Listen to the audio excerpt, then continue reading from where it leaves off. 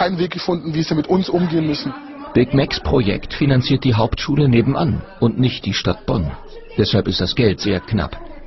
Bei den Rap- und Tanzstunden des Ex-Gangsters amerikanischer Abstammung ist die Bude immer voll. Big Mac erlaubt keine menschenverachtenden Texte und keine Gewalt. Mit seiner Idee war der Coach vorher am Brüserberg gescheitert. Ich war selber im Jugendhaus in Brüserberg, aber das ist einfach für, die, für mich die Arbeit nicht möglich, weil der Einfluss von, von gewissen Leuten, die da, sage ich mal, ihre Vorherrschaft haben, ist einfach, du kommst nicht bei den Jugendlichen durch, weil es geht ja nicht. Du kannst ja nicht im Keller hocken und den Jugendlichen was erzählen über, über Grundgesetze und ey, du bist was wert, wenn dann im Endeffekt im nächsten Augenblick jemand reinkommt, der sagt, ich fick deine Mutter halt und ich bin gut drauf und noch ein dickes Auto dabei hat. Es geht einfach nicht so. Das ist das Problem. An der Realschule des Schulzentrums Brüserberg hatte man lange Zeit den Einfluss von Xatar auf die Kinder und Jugendlichen falsch eingeschätzt. Der Millionenraub hat die Pädagogen hier aufgeschreckt. Die Vertrauenslehrerin sieht die Figur Xatar heute kritisch. Bei den jüngeren Schülern war das, was er macht, hat dazu beigetragen, ne, dass sie den toll finden. Also ich habe das Gefühl, dass es gerade äh, jüngere Schüler das ist ganz gefährlich, ne, dass die eben schnell beeinflusst werden und die da irgendwie schnell etwas vielleicht auch äh, übernehmen wollen und vielleicht diesem auch nacheifern. Und bei den älteren Schülern, äh, ja, das ist dann schon die Musik dann. Er verkörpert halt das, ne, was ja. die Schüler äh, wollen. Ne. Was, was wollen die denn? Ja, auch natürlich Erfolg und äh, Geld, berühmt werden, es zu etwas bringen und in den Augen der Schüler hat dieser Chata es zu etwas gebracht, weil er eben ein Star geworden ist in ihren Augen. Der Schulhof und Chatars Viertel grenzen unmittelbar aneinander. Dem Männerbild der Jugendlichen hat die Schule wenig entgegenzusetzen. Im Lehrkörper gibt es fast nur Frauen. Sie sehen sich machtlos. Auch wegen der medialen Präsenz von Chatar, Bushido und Co. Es sind äh, die anderen Musiker, wie Sie sagten, Bushido, es sind ähm, Journalisten, es sind in den, in den ganzen, es sind Moderatoren in den ganzen äh, Shows abends, die auch diese Sprache benutzen. Und da muss ich Ihnen sagen, denen wird ein Forum gegeben, ähm, da haben wir sehr schwer gegen anzugehen. Kann man da überhaupt gegen gewinnen?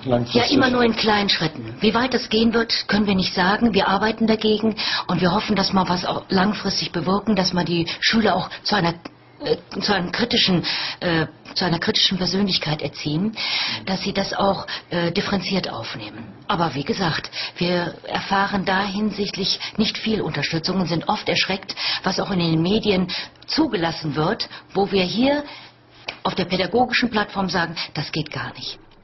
In sozialen Trainingsstunden will die neue Schulleiterin jetzt dafür sorgen, dass die Schüler sich mit dem Phänomen Khatar auseinandersetzen. Die Bewunderung hat er auch seinem rasanten Aufstieg in privaten Medien zu verdanken. Immer wieder war er Gast in TV-Studios. RTL 2 drehte mit ihm sogar eine sechsteilige Serie. Für ihn eine perfekte Werbeplattform. Heute bei der Bluff. Auch hier wieder mit dabei Nachbar und Mitrapper Sami. Für die Polizei ein Mittäter beim Goldraub.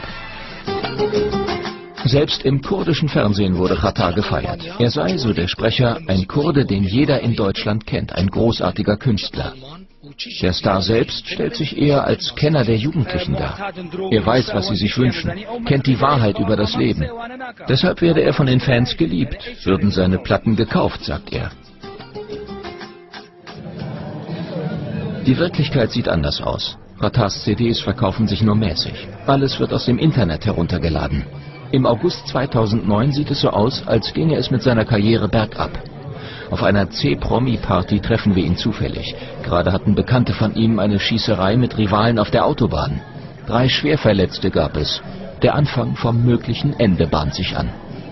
In letzter Zeit, keine Ahnung warum, passiert so eine Scheiße immer öfter. Ja. Wirtschaftsfehler oder keine Ahnung, woran das liegt. Ja. Dass irgendwie alle pleite sind und weniger Geduld haben und noch aggressiver. Also das passiert in letzter Zeit immer öfter und so sollte es nicht sein. Das ist scheiße. Das heißt ja auch, man hätte eigentlich sie treffen wollen. Äh, ah, das sind Gerüchte, das sind, was halt erzählt wird. Das ist Bullshit. Keine Ahnung, wer was da, äh, was da getroffen werden sollte. Mhm. Auf jeden Fall sind Leute getroffen worden, die äh, es nicht verdient haben. So Ende aus. Aber auf der Autobahn aus dem fahrenden Fahrzeug in ein anderes Fahrzeug. Ja, ganz genau. Nur wenige Wochen später das nächste Drama.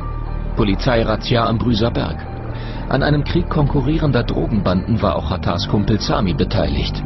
Dabei war scharf geschossen worden. Es gab Verletzte auf beiden Seiten. Die Polizei verfolgte die Flüchtenden bis zum Schulgebäude.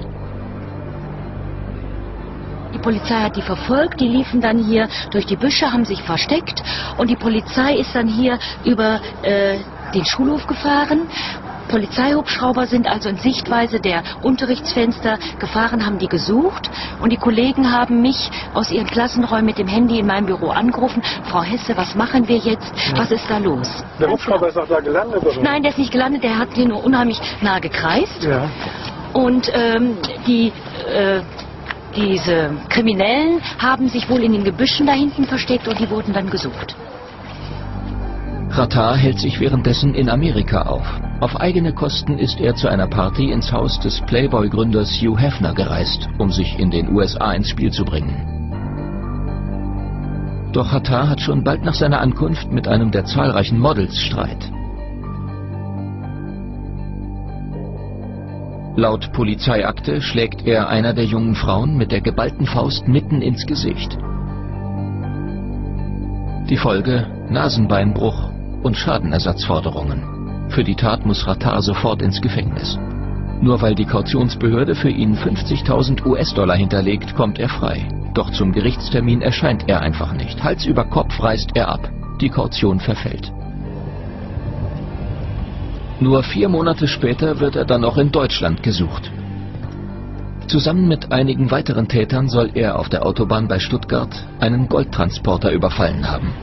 Beutewert knapp 1,8 Millionen Euro.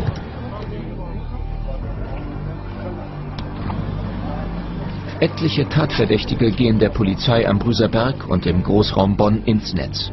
Doch die Hauptverdächtigen sind bis zum Februar 2010 nicht dabei. Die Polizei in Ludwigsburg hat eine 22-köpfige Sonderkommission gebildet, die EG Gold. Zielfahnder von LKA und BKA suchen die Verdächtigen mittlerweile weltweit.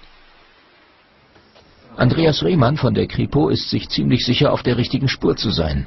Der Tathergang selbst ist fast aufgeklärt. Also, dann gucken wir mal, wo diese Bilder sind vom Tatort. An diesem Autobahnkreuz wurde der Goldtransport aus Nürnberg gestoppt. Das ist in diesem Bereich, die Täter kamen von hier oben, haben das Fahrzeug dann hier runtergelotst, bis hier an der Kreuzung, dann rechts ab und genau unter dieser Autobahnunterführung hat dann der Überfall stattgefunden.